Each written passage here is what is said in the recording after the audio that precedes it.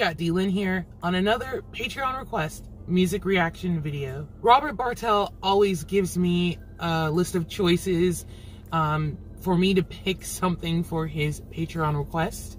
So tonight, I decided to go with a group that I had never heard of before, and I went with A&R Sings with their song, If You're Not The One. This is a cover of the original by the New Zealand British singer Daniel Bedingfield. It was the third single off of Bedingfield's debut studio album, Gotta Get Through This, from 2002. According to Wikipedia, If You're Not the One entered the top 20 on the majority of charts that it appeared on, including hitting number one on the UK singles chart. So I tried looking up the group A&R and unfortunately I couldn't find anything about them as a whole what I was able to kind of get was that they are a group that I guess may change lineup over time. And the three singers that are featured in this song, and I'm probably going to mispronounce all of them, and I apologize ahead of time. Barsina or Barasina, Karina, and Simhala. And I believe they are all under the music group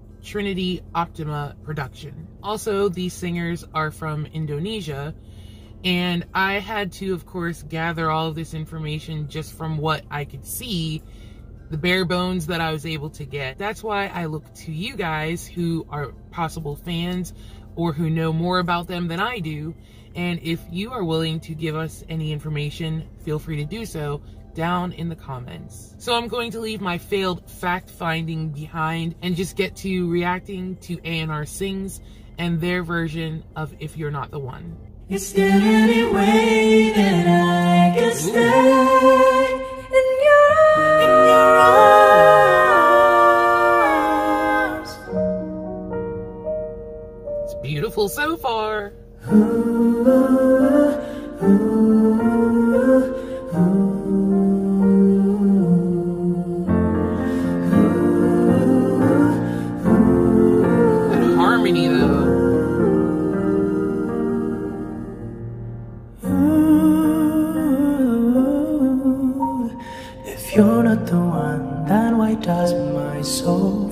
glad today? If you're not the one, then why does my hand fit yours this way? If you're not mine, then why does your return my call? If you were not mine, but I had the strength to stand at all. I'll never know what the future brings, but I know you're here with me now. We'll make it through, and I hope you are the one I share my life with.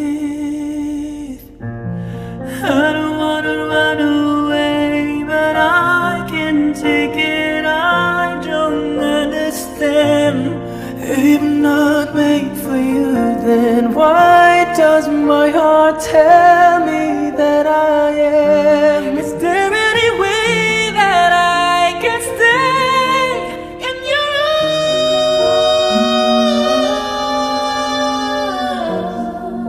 arms? If I don't need you then why am I crying on? My face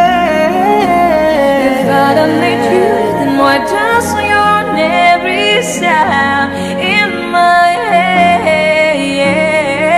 If you're not for me, then why does this distance make my life? If you're not for me, then what do I? Oh, then why do I dream of you? That's my way.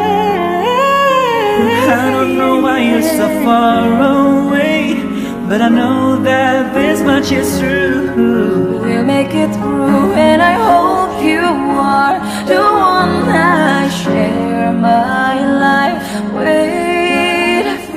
And I wish that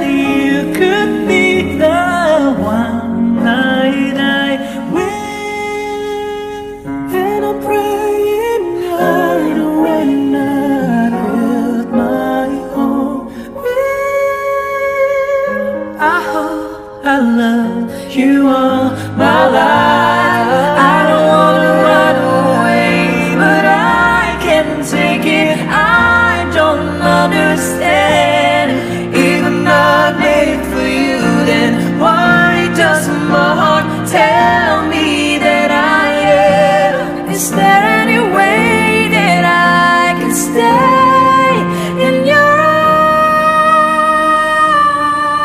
Cause I miss you, body and soul so strong that it takes my breath away. And I breathe you into my heart and pray for the strength to stand today. Cause I love you,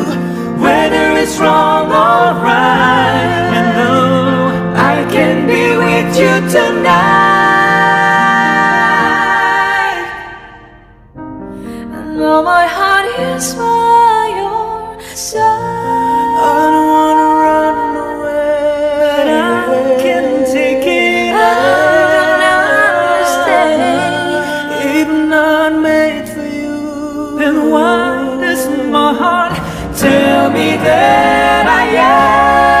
I don't wanna run away, but I can take it. I don't understand. Even not made for you, then why does my heart tell me that I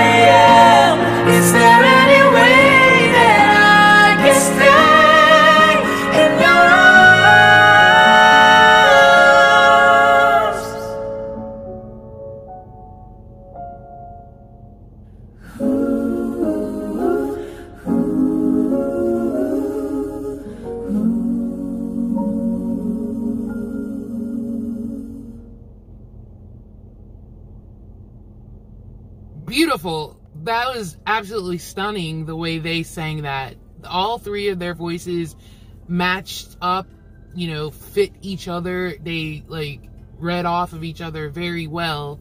And the harmonies were just ah angelic. I, I I would say very angelic. That's how they sounded, at least to me. It's just the most gorgeous version I've ever heard of that song. And to be honest with you, I've never heard anyone else cover it. As much as I did enjoy Daniel Bedingfield's first single, I think it was the first one, the actual name of the album, Gotta Get Through This, which was a bit more fast paced and I want to say it was more like a dance tune, a dance bop. As much as I enjoyed that song, this one, when it came out, I was just like not feeling it. And if you watch me, you know that like there's certain, you know, love songs, ballads that I just get all cringy around because it's and it's nothing about the song itself. It's just me. I'm unfortunately not in a place where I'm experiencing love and the great things about it and love songs that are like dripping, oozing with just how wonderful someone is and love and love and love. I just get all about it. And that's what this song was for me back in 2002. I listen to it now, wow, 20 years later, and still not in a place, you know, where I can relate. Which I'm telling on myself a whole lot and hearing someone else sing it. Uh, and they did it so well and so beautifully. I don't want to say it was better, but I will say that it was I was able to listen to it in a new light without judgment. I could put it that way. These three killed this and first of all, just all the runs that they had. I believe they are all like individual singers in their own right and then I guess they kind of formed this group together. Again, I don't know much about them and I just kind of going off the rails with my assumptions here. It's a good way to sort of bring this song back for those that may have never heard it before and for those who have heard it and maybe didn't like it so much kind of like me it gave me a new appreciation for it. They did an amazing stupendous job on this song. Is it my favorite song now? No but i will say that i would love to hear more from these three um possibly even individually if they have anything out on their own. So thank you so much, Robert Bartel. You always send me these gems for me to choose from, and I think I picked good this time. What did you guys think? Did you enjoy that reaction? I hope you did. And if you did, please give me a like. And if you're new to the channel, I hope there's something on here that will make you want to subscribe. Thank you so much for joining me on this Patreon request music reaction video, and I can't wait to see you in the next one. Bye!